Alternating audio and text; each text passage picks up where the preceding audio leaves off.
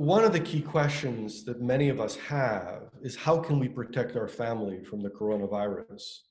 And, and it has to start by discussing with them what the disease is and how dangerous it is so that they understand that it is really uh, changing the world. The world is not the same as it was before, and we may have to change, and we do have to change how we act.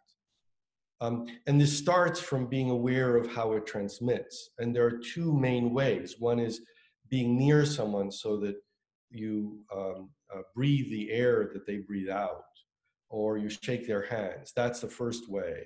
So we want to avoid being close to someone. And, and the best way to think about it is you want to be about six feet away from someone in order to protect yourself from being infected in that way. The second way that it's transmitted is by having the virus on surfaces. So surfaces that people touch or they breathe on, uh, you don't want to be touching them.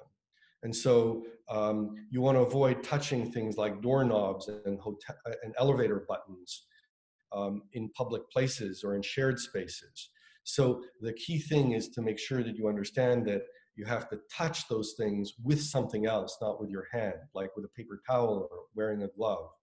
Um, and then the third thing is understanding that if you wash your hands, if by chance you touch something, then soap really is effective at killing the virus.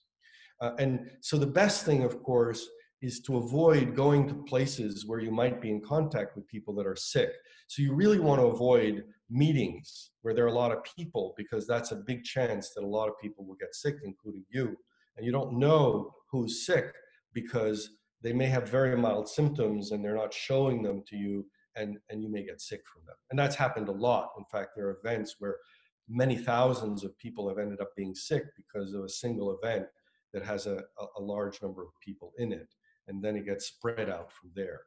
Um, so avoiding or, or making sure you absolutely don't go to any uh, public meetings, avoiding even private meetings or individual meetings by doing them virtually or calling people if you can um, and, and, and just generally avoiding the possibility of, of being in touch or breathing the same air with people or touching things that they touch.